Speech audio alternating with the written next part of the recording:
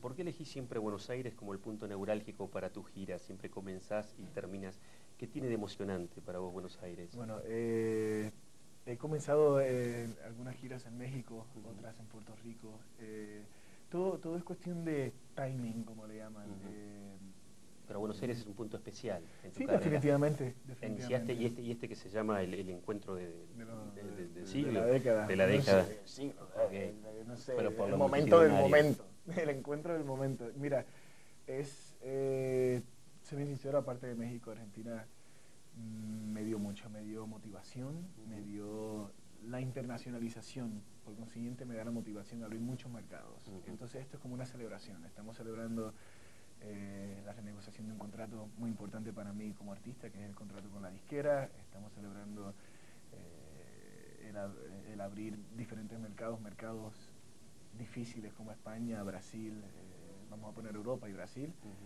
y, pues hay que hacer una fiesta, definitivamente. en los últimos dos años de carrera, Argentina, Argentina ha sido una, una, plaza muy fuerte para Ricky Martin claro, se le ha dado también tiempo, se le ha dedicado tiempo y, pues y pues creo que es lo menos que puedo hacer por, el público argentino, definitivamente. Ok, eh, siempre eh, eh, has logrado entrar en el mercado americano a través de General Hospital, a través de Les Miserables, que, estuve en tu última función en, Broadway. Este, ¿Cómo va a ser ahora, cómo planea tu disquera el crossover del artista latino a ser un artista del mercado americano? vamos a tomarnos el tiempo que sea necesario para hacer las cosas bien hechas, definitivamente manteniendo nuestras raíces. Yo creo que es muy importante eh, no solamente la música, sino hacer una, estrategia de mercadeo muy, eh, muy latinoamericana para no ser uno más, ¿sabes? Yo creo que eh, con la motivación de la compañía disquera en Estados Unidos y la latinoamericana, yo creo que son diferentes culturas que pueden crear cosas maravillosas y, estamos hablando de finales del próximo año para el lanzamiento. Eh, con un disco en inglés. Con un disco en inglés. Para el mercado eh, americano. Para el mercado, para el mercado americano, el europeo y el oriental. ¿Por qué en inglés? Porque alguna vez se me dijo que era muy difícil. Y como a mí me gusta lo difícil, pues vamos a, vamos a hacerlo en inglés. Justamente, eh, has sido exitoso como cantante desde tus 12 años con menudo, desde menudo, exitoso como actor en, en México en alcanzar una estrella con este General Hospital, el mercado americano, y cantar, eh, eh, actor eh, en, musical en Les Miserables. ¿Qué, quieres tú como, como artista? ¿Un mix de todo eso?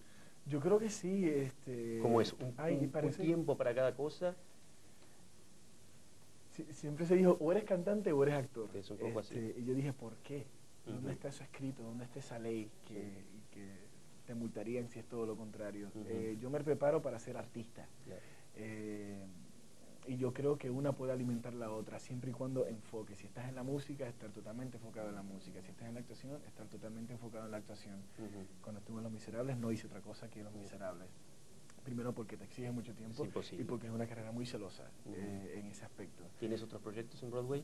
Eh, hay proyectos muy lindos, pero, pero mira, prefiero... ¿Cómo qué? ¿Qué te ofrecieron? Eh, producciones que ya están montadas ¿Cómo de eh, Sunset Boulevard. Sunset Boulevard, ¿en qué papel? Eh, el muchacho. El muchacho. Son dos. Sí, sí, sí. Betty Buckley. Eh, Ahora está Ellen Page. Eh, ok, Ellen Page. Y Alan Campbell está Alan Campbell ahora. está haciendo ahora. Pues sí, pero no. No, no quiero, me gustaría ser parte de un elenco original. El elenco original es el que nominan para los Tony, el elenco original es el que graba el disco. y, y, eso es lo que me gustaría hacer, pero con calma. Así, justamente, tú prácticamente no conoces tu vida sin fama, porque de los 12 años eres famoso con menudo. Es así. No conoces tu vida sin fama.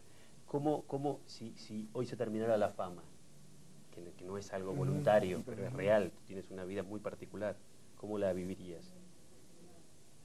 ¿O es algo que deseas? Eh, si me preguntas qué es lo que más miedo, qué es, lo, qué es lo que más temes, es al fracaso, definitivamente. Ah, y, el, cortar una relación. Esta relación sería con esta carrera, me, da pavor y por eso yo creo que trabajo tanto. Eh, ¿Cómo adicto al trabajo? Eh, adicto es cuando empiezas a hacer cosas, eh, cuando empiezas a trabajar. Adicto al trabajo es cuando empiezas a trabajar para evadir problemas en tu vida personal y no creo que ese sea mi caso.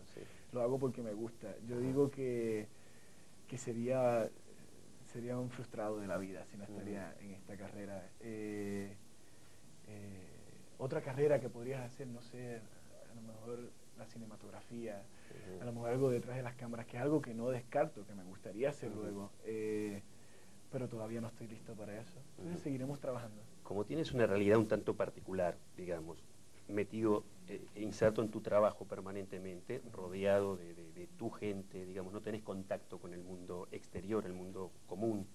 ¿Cuáles son las cosas que te preocupan de ese mundo común y exterior? ¿Vives de alguna manera como en una burbuja, digámoslo así, en el buen sentido? Sí, eh, por eso paso mucho tiempo solo y por eso que hay cinco días libres no sé, me voy del otro lado del mundo para ver qué está sucediendo. ¿Qué cosas te preocupan del eh, mundo de hoy, el año 2000? ¿Qué es lo que te preocupa? La, ignorancia, eh, en todo el sentido de la palabra. Yo creo que el no querer leer, como he dicho en otras entrevistas y en conferencias de prensa, un encabezado que diga la palabra SIDA por miedo a, conocer una realidad que a lo mejor tú, que tú estés muy cerca de eso, pues ya, ya eso es, está fea la cosa. Lo que son las drogas. Las drogas eh, usas droga, no estás eh, en tus cinco sentidos y por no estar en tus cinco, sentidos vas a tener una relación sexual eh, a lo mejor promiscua, no te proteges, o sea, es, como una cadena y, puede ser hasta un círculo vicioso. Eh, hay que educar, hay que educar y eso lo va a todos los gobernantes. No tengan miedo del tema, díganlo descaradamente porque no se puede tener no, se puede dar pedacito a pedacito este tipo de información, tiene que ser a lo bruto. ¿Y cómo se ve Ricky Martin dentro de 20 años, cuando todas las carreras tienen una cúspide y y viene un cierto descenso? Cuando tengas 20 años más tendrás 45 años. 45 años definitivamente con hijos, eh, y a lo mejor detrás de las cámaras. Espero tener la salud, tener la garganta para poder seguir cantando, pero ya no sería la prioridad. Eh, a lo mejor detrás de las cámaras definitivamente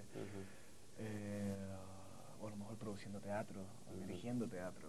Eh, y, me da miedo pensar en, ese momento, me gusta vivir un día a la vez, ayer y mañana son dos eternidades que pueden volver loco a cualquier ser humano. Entonces, vámonos a vivir hoy y sacarle todo el provecho al mundo el día de hoy. Está bien. Bueno, un saludo para la gente de Primer Impacto y todos los, este, los latinos de los Estados Unidos. Bueno, a esa gran comunidad hispana de los Estados Unidos, sigamos adelante tenemos un trabajo muy fuerte que hacer. Y primer impacto, muchas gracias. Bueno, muchas gracias, aquí. Igualmente.